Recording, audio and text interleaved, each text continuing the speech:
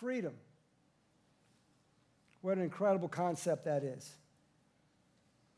Now, you know, most people in most places over most of the time in the history of mankind have not had freedom. Quite the opposite. Most people in human history have lived under bondage. They've lived under tyranny. They've lived under either an oppressive government an oppressive individual. What we have in the United States of America has been an incredible experiment in freedom, in democracy. Never has a nation had the freedoms that we have now. That's why people come here.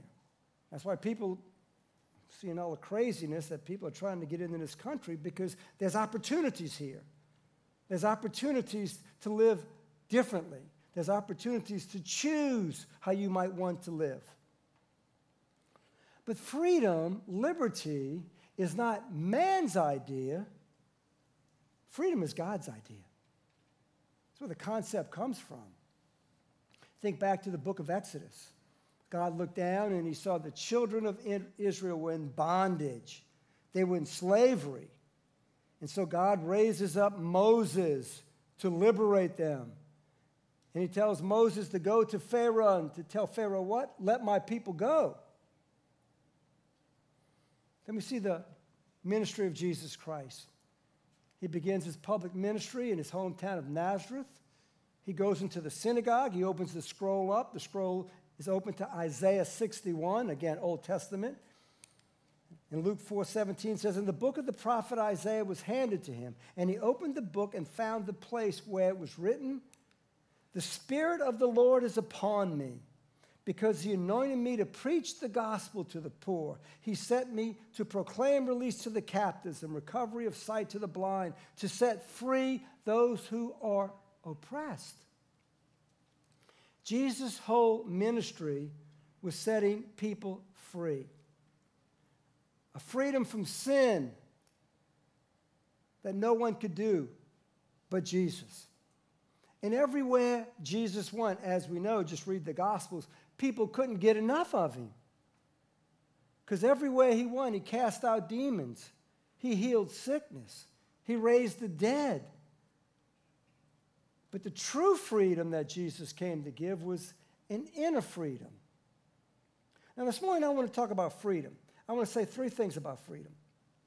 The first one is this freedom from government tyranny, freedom from the curse of the law, and freedom from selfish living. Let's begin with freedom from government tyranny. Now, we all know the Apostle Paul wrote Romans. And in Romans 13, Paul says all government that's been established has been established by God, and we are to obey that. That's good. That's true. Unless the government tells us to do something that God specifically says not to, or unless the government tells us not to do something that God says specifically to do. But I don't think that gives the full story.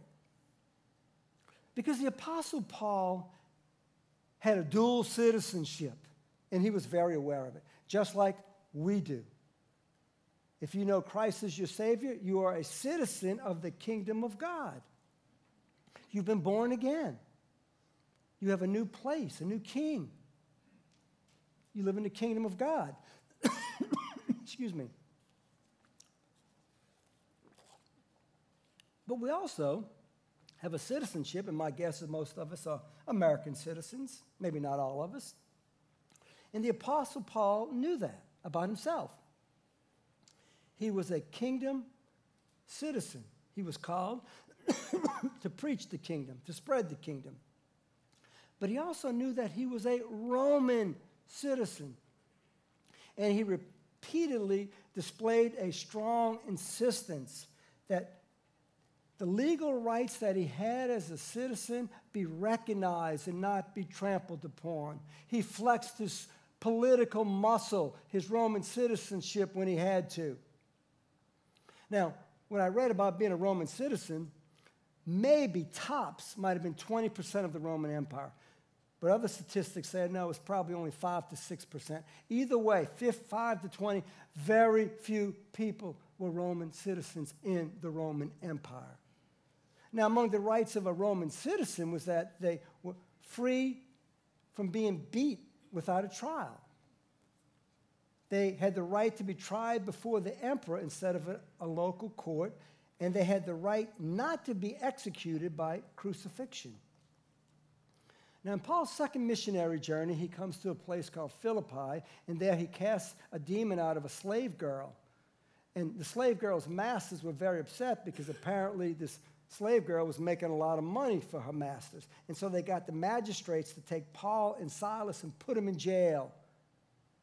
And not only they put them in jail, they beat them illegally. And then later on, after Paul is released from jail in Rome, excuse me, Acts 16, verse 37, Paul said to them, to the Roman magistrates, They have beaten us in public without trial, men who are Romans, and have thrown us into prison. And now they're sending us away secretly? No, indeed. But let them come themselves and bring us out. Paul says, Wait a minute.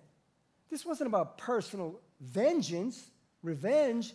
This was about personal protection under the law that the Apostle Paul had because he was a Roman citizen and was being treated illegally. And so he exercised his rights.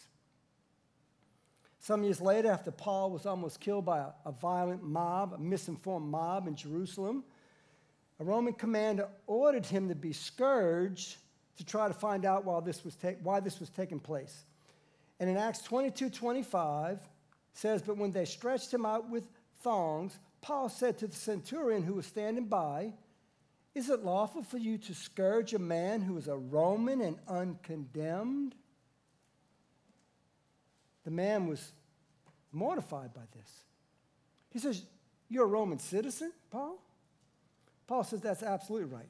I was born a Roman citizen, which was very unusual. We don't know how he achieved that, but he did.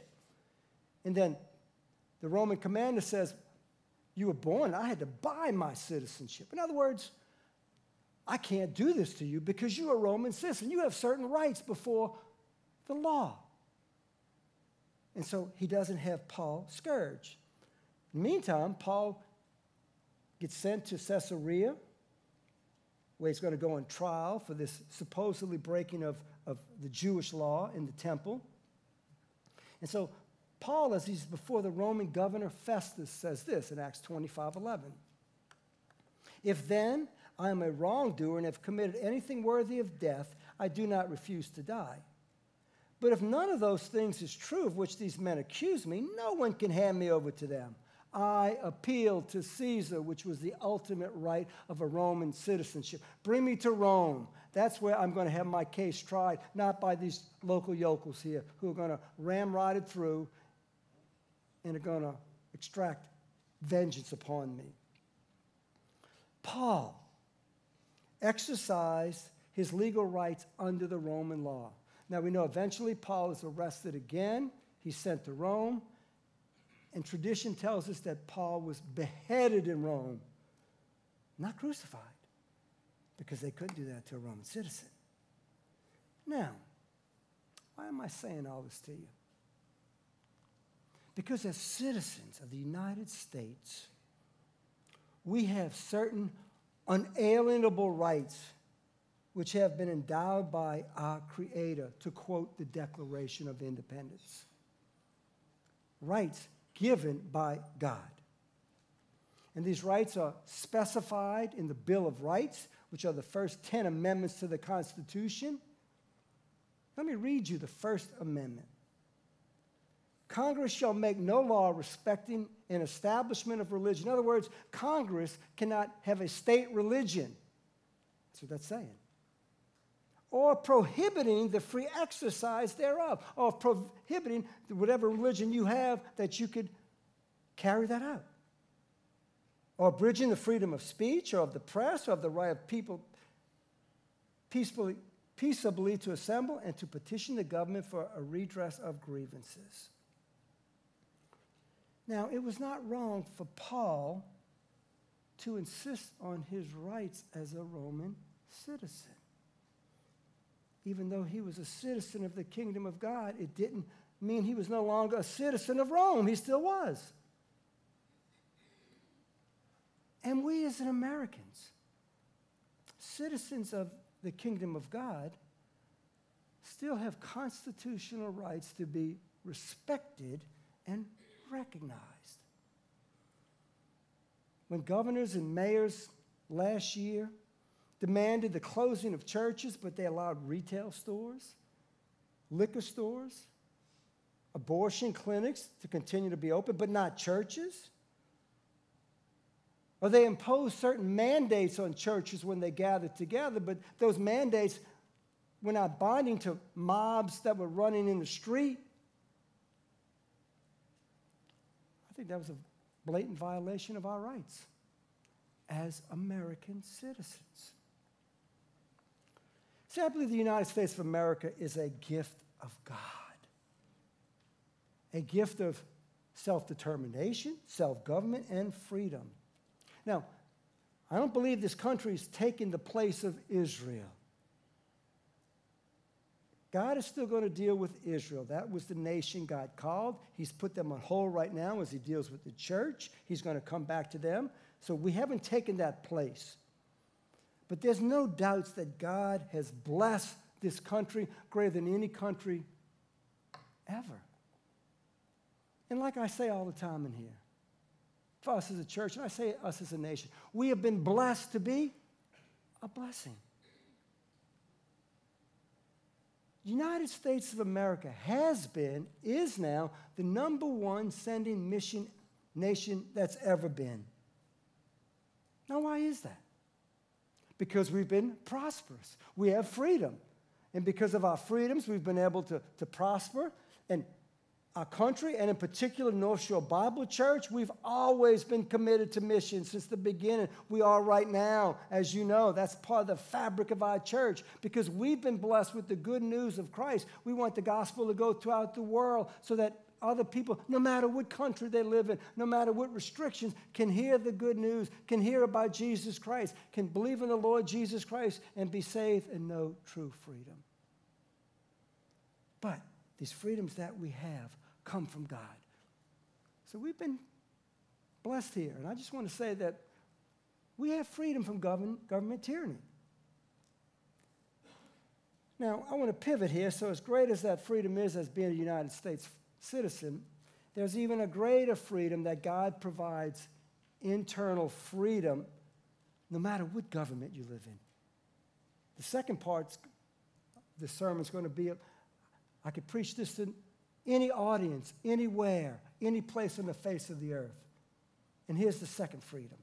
Second freedom is that we've been given freedom from sin. We've been given freedom from the curse of the law. Jesus says in John 8 36, so if the Son makes you free, you will be free indeed. And we're going to look at the book of Galatians. Galatians, Paul wrote to, to, to the Galatia area, and some people call it the Declaration of Independence of Christian Liberty. Because there were these teachers coming there, Judaizers they were called, and they were telling the, the, the, the followers of Christ listen, Jesus, you need more than Jesus. You need to follow the law. You need to have certain restrictions. You need to get back under the dietary restrictions, moral code. And Paul says, uh uh-uh. uh. do not put yourself back under bondage because Jesus has set you free. And in the book of Galatians, this letter to Galatians, he demonstrates the superiority of the justification by faith alone, in Christ alone, by grace alone. You've been justified. You've been declared right before God, not anything that you've done, but solely because of what Jesus Christ has done. So Christ has freed the believer from bondage of the law and has placed them into a place of liberty due to the gospel. And in Galatians chapter 1, Paul says, The gospel I preach, and the gospel is the good news that Christ died for sins, was buried, and rose from the dead, and anyone who puts their trust in him can know forgiveness of sins and have eternal life. If anyone comes to you with another gospel, he says two times, let them be accursed. Let them be cursed of God if they add anything, if they change my gospel. So Paul says about the freedom from the curse of the law. And I believe the key verse is in Galatians chapter 2, verse 16, where Paul says this Nevertheless, knowing that a man is not justified by the works of the law, but through faith in Christ Jesus, even we have believed in Christ Jesus, so that we may be justified by faith in Christ and not by the works of the law, since by the works of the law no flesh will be justified. Paul, three times here, says that following the law, that is, following what God has said, rules, rituals, regulations, no one will be declared right before God. Three times he says that, and three times he says, There's only one way. There's only one way by trust in Christ, faith in Christ. So the law can't justify anybody, never could. Only Christ can. So then he writes a little later on in Galatians 5 1. It was for freedom that Christ set us free. Therefore, keep standing firm and do not be subject again to a yoke of slavery. J.B. Phillips, in his paraphrase, says this Plant your feet firmly, therefore, within the freedom that Christ has won for us, and do not let yourself be caught again in the shackles of slavery. Now, notice the declaration, the declaration of Christian independence. It was for freedom that Christ set us free. Who set you free? Jesus Christ did. You couldn't do it to yourself. Jesus is the great liberator. He's the one who sets people free. Freedom is a gift from God, given to us and received by faith. Freedom is a gift given for people who strive, who've tried to please God, who've done all that they can, who go to church, who give money, who try to do good works, and they still can't quite feel that they're good enough. They've tried their best. Listen, Tyranny by government is a terrible thing. But tyranny to sin is even worse. Tyranny to sin is not only inwardly shackling someone, but if you're left in that state of tyranny of sin, it leads to eternal condemnation. The freedom that God gives one when they trust Christ as their Savior is this freedom from sin's power and guilt, freedom from the curse of the law, freedom from eternal punishment, freedom from God's wrath, freedom from satanic authority, freedom from the fear of death. Furthermore, freedom God gives you is freedom from the shame and tyranny that others will put on you their opinions, their expectations. You should do this, you shouldn't do that. Not that we don't want people's advice, but people trying to tell you everything you need to do for your soul and may not know exactly what your soul needs, that only God does. See, freedom is the ability now to obey Christ from the heart through the eternal leading of the Holy Spirit. Christ died to set us free, not to make us slaves. So then, he gives this declaration, then he gives a command. Therefore, keep standing firm. Persevere with your freedom. Persist in your freedom. It takes effort to stay in the place of freedom and not to go back to slavery again. See, someone who's legally made free in Christ can still live in bondage by placing themselves back under the slavery of legalism. Now, what is legalism? Legalism is an attitude or a mentality based on pride. It's expecting other people to live up to your standard or your expectation of righteousness. It's rules that you use to determine if that person is spiritual enough or not. Not necessarily what God has said, you understand, but maybe passed down through tradition, maybe given through certain religion not spelled out in Scripture. Paul talks about that in Galatians chapter 2. In Galatians 2, Paul confronts the Apostle Peter because Peter, who God had used to preach the gospel to the Gentiles, Cornelius in Acts chapter 10, and God had, made it clear in Acts 15, the, the, the um, council at Jerusalem, that the, the Jewish, the, excuse me, Gentile believers coming to Christ no longer were subject to the law, the moral and the ceremonial aspects of the law. Now, Peter kind of forgotten that. Peter is now shunning Gentiles from having lunch with them because they're eating unclean food. Paul gets wind of this. And what does Paul do? He confronts Peter face to face and says, What are you doing, Peter? God set us free, free through Christ, so we no longer have to do this. I'm so glad that that's in the Bible right there because that still exists today. Now, legalism today, I'll give you an example of it. Some of you might have grown up in this tradition, know about it. We've all probably grew up in some legalistic tradition. But some churches say, especially women, you know, if you're really spiritual, you'll have real long hair and you'll always wear long dresses. That determines your spirituality. Are you kidding me? Some external thing. Now, now God does say you should dress modestly, okay? But that doesn't determine if, what's going on in your heart. I mean, it may, there might be some indication, but that doesn't determine that. So Paul says, keep standing firm because freedom is worth fighting for. People will try to put their expectations on you and make you follow what they think is best for you. Now he gives a negative and do not be subject again to a yoke of slavery. A yoke, you know, a, yoke was a device for, for, for putting domesticated animals together. You know, it's usually like a wood thing, two oxen, one ox will have one the other, and they'll pull like a, a plow behind them.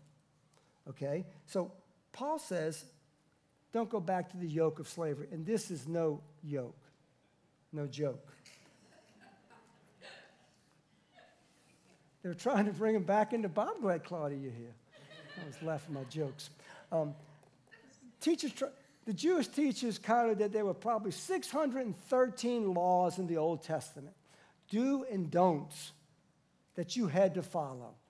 613. Can you imagine that? I mean, you couldn't go throughout the day. You couldn't even count to 613. Because that was God's standard. Now, why was the law given? The law was given to show if man on his own, if he tried to please God, this is what he had to do. He had to follow all these do's and don'ts because all these do's and don'ts reflected God's holy, righteous character. So, for us to achieve that righteous character on our own, we have to follow all these things. 24 hours a day, seven days a week, not just in action, but thought, word, and deed. Now, why did God give us that? Well, Paul said earlier in chapter, well, not why God, God gave it to us to show us moral character, but Paul says in Galatians 3.10, he says, For as many as are, as many as are the works of the law under a curse, for it is written, Cursed is everyone who does not abide by all things written in the book of the law to perform them. If you didn't carry out every single law, you'd be cursed. James says in an epistle if you break the law in one place, one time, one sin, you've broken the whole law. Well, man, what are we going to do? We got a problem. That's why Jesus came. Galatians 3:13. Christ redeemed us from the curse of the law. He bought us back from the slavery, the bondage of the law. How? Having become a curse for us. For it is written, Cursed is everyone who hangs on a tree.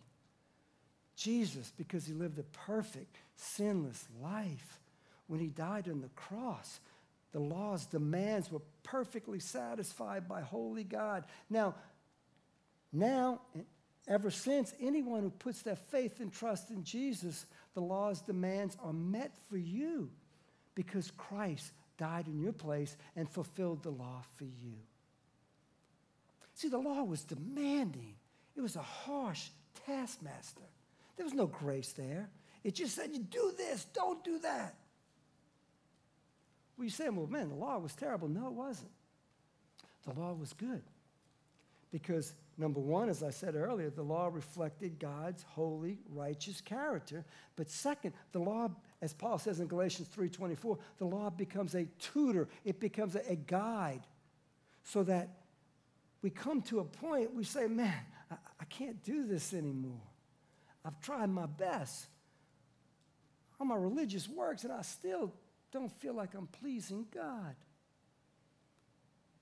So the law drives us to Christ. And we see who Christ is. We see that he's come to save us from our sins. We see that he's come to set us free.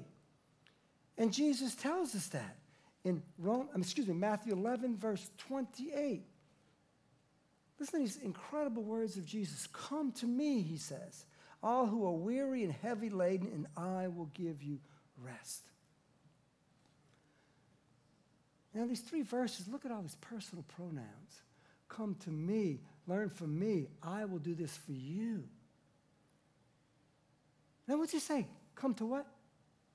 Certain church? Particular denomination? Certain teacher? List of rules? Do's, don'ts?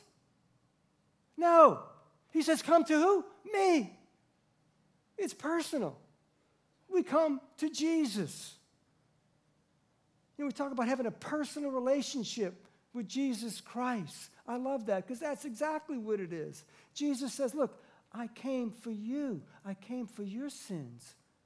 Now you come to me. And those who are weary and heavy laden, that is, those who've walked around feeling the yoke of re- religious rituals, that things are hard, they're demanding. I can't live up to what the church tells me and all the expectations. I can't live up to what, you know, my, my, my friend who tells me what I should do and do, shouldn't do. I can't live up to that. I'm weary of this. I'm burdened from this. And it says Jesus is the one who gives you rest. He's the one who refreshes your soul. He's the one who, who gives you peace and joy. And who qualifies for this rest again? Anybody who's heavy, laden, and weary, and tired, and knows they can't do it themselves. That's who qualifies. And Jesus goes on in verse 29. Take my yoke upon you and learn from me, for I'm gentle and humble in heart, and you will find rest for your souls. For my yoke is easy and my burden is light. Christ's yoke is easy, it's manageable. He's pleasant to walk side by side with each and every day of your life. He's pleasant that whatever you're going through, no matter how burdensome it is, that He's walking right there with you. Every step you take, He steps right beside you. He's pleasant as you learn from Him, as you follow Him as being one of His disciples. Because He's gentle and humble. He's not going to demand things from you, He's not going to yell at you when you fall short. Jesus was the most approachable person in the history of the world. That's why wherever he went, people clamored to be with him. They couldn't get enough of him. Because he says, I'm going to walk with you. He doesn't say, You're never going to have a burden. That's part of life.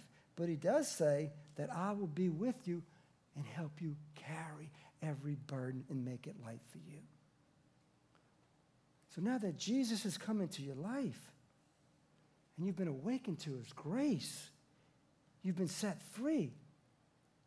He, Jesus, has provided freedom from slavery to sin.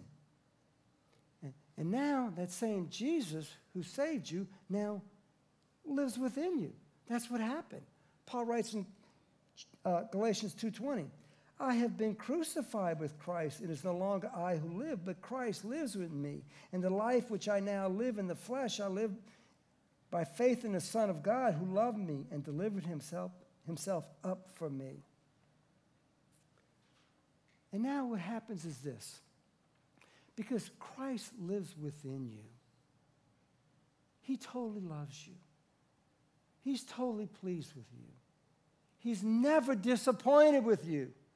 That's hard to believe. But he's never disappointed. Well, what about when I sin? He's got to be disappointed then? No, he's grieved because he knows when we sin, we hurt ourselves, but he's never disappointed. For him to be disappointed with you, he'd have to be disappointed with Jesus. And for him to be disappointed with Jesus means Jesus would have to come back, come back out of the tomb, come back out of dying the cross, and not be the sin, sinless Savior. It can't happen. It's impossible. So he's always pleased with you because the believer is now in Christ. That's your new identity. That's now your new position. And so that's what Paul says in Romans 8 1. There's now no condemnation for those in Christ Jesus, and never will be again. Now, not only is there freedom spiritually, but what God begins to do in our hearts and our lives, He begins to transform us. He begins to change us from the inside out. And he begins to break us from those shackles sometimes from the demands of others, right? You should do that. You shouldn't do that. You could have done that. I wish you wouldn't have done that. We all have those regrets. But Jesus says, wait a minute. Whoa, whoa, whoa. Don't let those things drive your life, define your life. Because now I am defining your life. I've freed you from sin. I will never bring them up again. And yes, there'll be times when you fall short. But even in those times, I will never quit loving you. Revel in the freedom that God has given you because your salvation did not, does not now depend on your efforts, but it did and now depends on what Christ has done for you. A great Puritan, John Flavel, said this We are justified and saved by the very righteousness of Christ and no other. He wrought it, produced it, and we wear it. So they've been set free. Now the question is how will these Galatians now use this new freedom? Question is for us the same. If you know Christ, how do you use your freedom? Well, Paul's going to tell us Galatians 5, verse 13 through 15, and he's going to talk about freedom from selfish living. Verse 13 For you are called to freedom, brethren. Only do not turn your freedom into an opportunity for the flesh, but through love serve one another. Now, our flesh, even though we've been born again, we've got the spirit, we have new life, we still have our humanity. We still have this part of our unredeemed humanity called the flesh. We still struggle. We will struggle till the day we die. And then when we're with Jesus, there'll be no longer any presence of sin. And part of the flesh is we have this tendency to go to one or two extremes. One extreme is the legalist, as we saw. Now, the legalist satisfies himself by thinking God is satisfied also by the strict code of do's and don'ts, which the person imagines demonstrates his righteousness before heaven, and God's pleased with that. The legalist is bound up, the legalist is restrained. Now we come to another person, the other extreme. This is the libertine. The libertine satisfies himself by rejecting our codes and living completely according to his personal lusts and desires. The libertine says, Hey, I've been saved by grace. I could do what I want. God saved me. No, if you have that idea, then you don't understand grace. Grace is, cannot be earned, it's unmerited. But grace is free, but it's costly. It cost Jesus his life. So those who say, I could send up a storm, I'll just confess it, I'm okay, then you need to understand grace better. Because grace doesn't give us freedom to sin, grace puts in our heart a desire to please God and sin less. So for the libertine, he's unrestrained. The legalist is bound up. Now, we are called to walk between the two of these and live in freedom by guarding our own freedom jealously, but at the same time exercising our freedom lovingly. And it says you were called to this.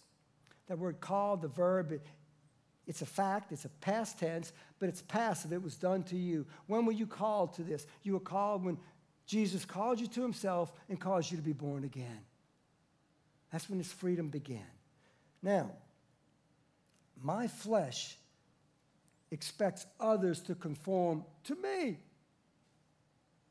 to do what I say, when I say it, where I say it, how I say it, with who I say it. It's all about me and my interests. That's what the flesh is. And the flesh is always involved with using and manipulating others. That's the exact opposite of what Paul did in his ministry. Paul writes to the church at Corinth in 2 Corinthians chapter 7 verse 2. Here's what he tells them. Make room for us in your hearts. We wrong no one. We corrupted no one. We took advantage of no one.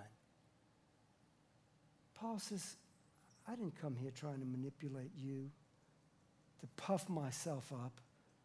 Now, if anybody could have done it, it was Paul. He was an apostle. But he says, I, I never took advantage of anybody. Not only that, but he goes on and says in 2 Corinthians chapter 12, verse 17, Certainly, I've not taken advantage of you through any of those whom I've sent to you, have I? In other words, not only did I not take advantage, but even the, the men I sent to you. I urged Titus to go and sent the brother with him. Titus did not take any advantage of you, did he? Did we not conduct ourselves in the same spirit and walk in the same steps? Paul says, I never use my platform for selfish gain. See, Christian freedom treats people as persons to be served and loved, not as things to be used and abused. And Paul goes on and says, But through love, serve one another. We love each other not from pressure from without. I'm not sitting up here and saying, hey, you better go out and love each other right now. I can't do that. But the reason we love each other because of the great principle from within because Christ now lives within us. And that's exactly the, the pattern Jesus set, right? Jesus was the freest person who ever walked the face of the earth. He had more freedom than anyone. But what did Jesus do? Did he come and demand people serve him? No. He came not to serve, not to be served, but to serve and give his life a ransom for many.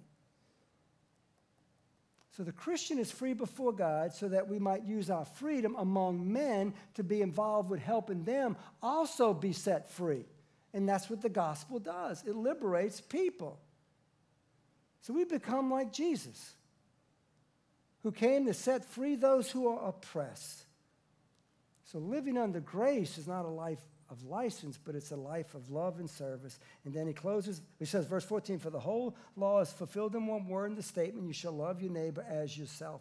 See, as you yield to Christ more and more to his love, then more and more you love others. This solves every problem in human relation. Because if you love people because you love Christ, you're not going to steal from them. You're not going to lie about to them. You're not going to gossip about them. You're not going to envy them. You're not going to try in any way to hurt them. You want the best for them. And then he finishes up this section in verse 15. But if you bite and devour one another, take care that you are not consumed by one another. Apparently, there were some Galatian believers who were going at each other. They were bickering and fighting and who, who knows what else. But Paul says, listen, you're destroying each other. Stop it right now. Because that's not what God has called us to. Let me close with this. Let me say it again to you. Freedom is not man's idea, freedom is God's idea. And as an American, living in a nation that has been blessed from God, we're free from government tyranny as a follower of Christ. We are free from the curse of the law and we are free from selfish living. These freedoms are not automatic. We must work to protect our freedoms because it's easy just to not be vigilant, just to fall back, and to allow other people, other voices to manipulate you and guide you.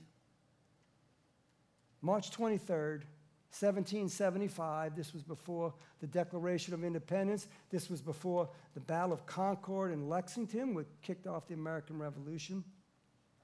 An attorney named Patrick Henry addressed the Virginia colony. We were still colonists then under England. And he, he addressed the Virginia Colony Convention and he said this If we wish to be free, we must fight. I repeat it, sir, we must fight. An appeal to arms and to the God of hosts is all that is left in us. It is vain, sir, to extenuate the matter. The gentlemen may cry, Peace, peace, but there is no peace. The war has actually begun. Our brethren are already in the field. Why stand we here idle? If life is so dear or peace so sweet as to be purchased at the price of chains and slavery? For, forbid it, Almighty God. I know not what course others may take, but as for me, give me liberty or give me death. Let's pray. Lord, we thank you for the freedoms that we enjoy. We thank you that we have just worshiped you without fear of being put in jail because that is one of our rights as an American citizen that we can gather together to worship you. We're not commanded to worship one religion, but we have the freedom, as many other churches are meeting right now, to worship you as we see fit. So we thank you for that freedom, Lord Jesus. But we also thank you for even a greater freedom the freedom that you've set us free from the curse of sin. You've set us free from just living selfish lives. That you set us free to love each other. That you set us free to take this great message, the gospel, and love others and tell them the good news that Jesus has come to set the captives free. So as we leave here today, I pray that we might take our liberty seriously and that we might live as free people. In Jesus' name I pray.